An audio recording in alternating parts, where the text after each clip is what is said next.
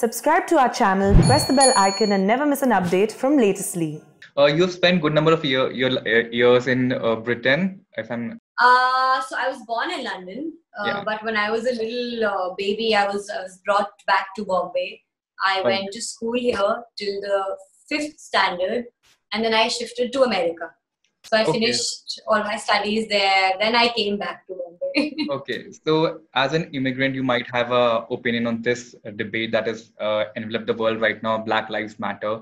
What are you? Which side uh, do you find yourself on? you know i always uh, feel that uh, it's well yes what's happened is very bad it's Yeah. there's no uh, there's no two says to that but uh, at the same time this isn't just about uh, you know skin color. It's it's a lot of things. You know racism isn't just to do with your with your with your color.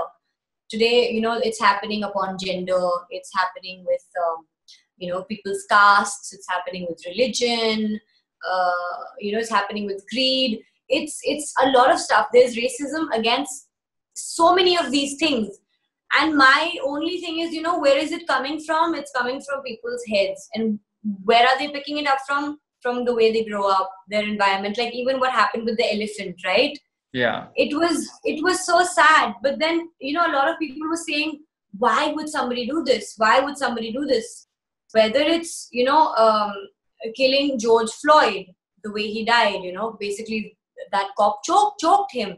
Or it's uh, an elephant who's just been thrown some food who's going to have that why would this happen or why would they would do this is because they've had that kind of surrounding and upbringing you know? And uh, we talk about education we talk about colleges we talk about you know how we want to educate uh, our generations our children or how our parents have wanted to educate us while we were growing up but i think what uh, majorly uh, is missing in the world is that there is a different kind of education which needs to happen which is not happened and uh, which which is not happening either. People are just coming up and saying why why? This is wrong. You should not do this. How could somebody be so inhuman you need to understand how could somebody be be like that. It's because they have not been educated in the right way about the right stuff. We talk about uh, you know uh, people in the villages or, or places where there is um, you know even even till date uh, there is a girl child killing which happens why is it happening so it's it's everything but the answer to all these things is one that there is the right there's a right kind of education which needs to happen you need to educate people in the right way education is just not reading and writing आपने वो मुहावरा सुना ही होगा पढ़े लिखे जाहिल right so Yeah.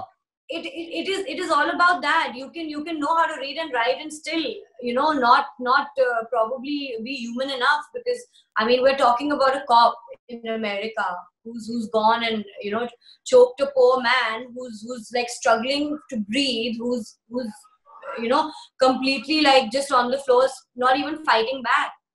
What makes you what makes you want to do that to him? Because of his skin color. Yeah, it it really it it it surprises me because they're Americans, they're educated, they they have mu- many more privileges than people you know in other countries or even like us in India. But they're doing the same thing that we're doing. yeah. True. It's just through a different medium. It's it's through the medium of of you know uh, skin color racism. We do it through religion. We do it through caste in India. So it's Yeah. it's everything is the same. It's just about educating uh, people around you, educating the children around you, and uh, you know anyone you know in the right way and in the right manner. That is what is. Uh, so next question is, uh, there is a sort of this uh, particular uh, uh, controversy has given birth to another controversy in India, where actresses who have promoted fairness enhancement creams and fairness products have actually gone out and talked about how colorism and racism should be abolished.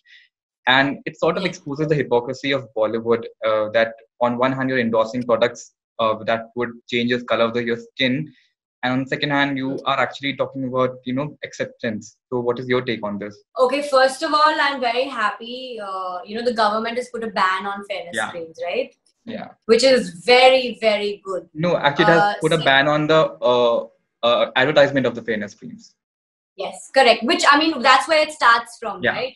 you know we we can't deny the fact of of uh, somebody saying this is a bleach cream you know what i mean? Like you you if you want to if you want to go and put on a bleaching cream and say i want to i want to turn fairer that you have to realize is coming from where? From advertisements from people Yeah. talking about it around you from from people in the society saying oh you know we want a fair girl or somebody saying oh you know you're you're too dark so you're not beautiful.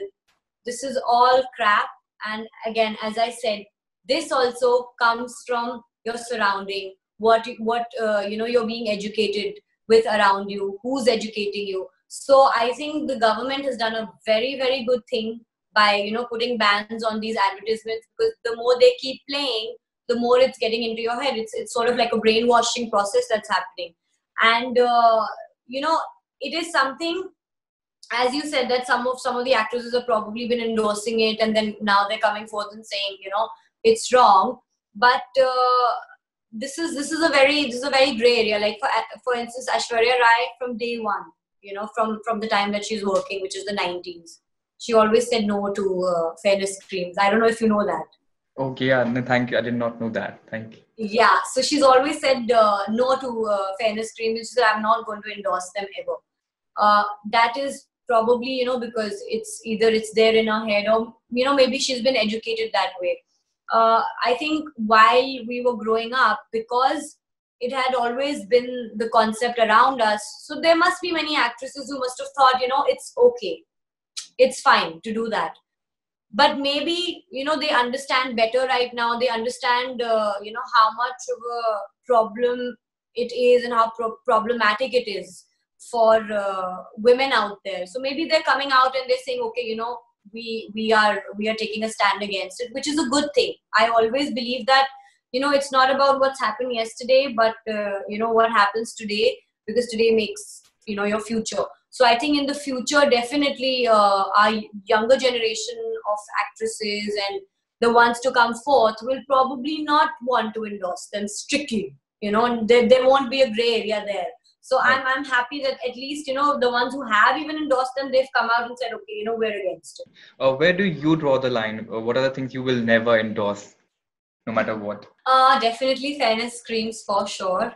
Um, I think anything uh, which uh, you know brings down uh, a human being's moral, uh, mentally, you know, their, their moral, which brings it down. It could do with, as I said, fairness creams are to do with skin, uh, with your appearance, anything which which uh, you know. Uh, kind of x's out the fact of celebrating who you are as a human being that is something which I would never, you know, want to go against and endorse that, okay, you know, you should do this or you should do that. You should be happy in your skin. You should be happy as the person that you are. And you don't have, nobody has the right to make you feel any less. You know, there's beauty in everything that the world, the God has created. So, yeah.